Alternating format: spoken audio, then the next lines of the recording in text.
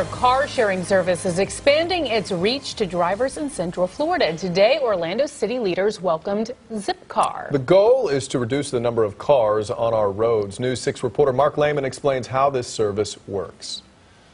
Two of the cars open to share are available right here near Lake Eola. The mayor today saying this is just another welcome option for traveling around the city. The car sharing service is called Zipcar. Differing from ride sharing options like Uber, Zipcar lets drivers rent a car for as short as an hour or a day, gas and insurance included. We have been adding to our array of transportation options in and around the downtown area. Orlando Mayor Buddy Dyer says the service joins Sunrail and Juice Bike sharing as a way to easily get around the city. It also counts toward reducing the number of cars on the road.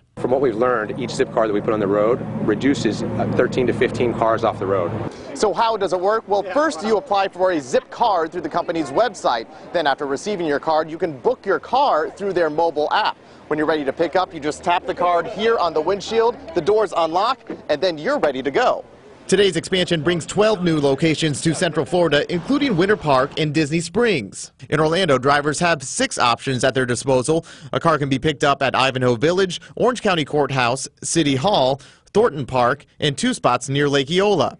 Two years ago, the city experimented with a similar car sharing service, but that failed. Today, Dyer focused on Zipcar's brand recognition as a recipe for success. You can be a member of Zipcar here in Orlando and use it in hundreds of other cities around America, so I think that elevates the program. In Orlando, Mark Lehman, News 6.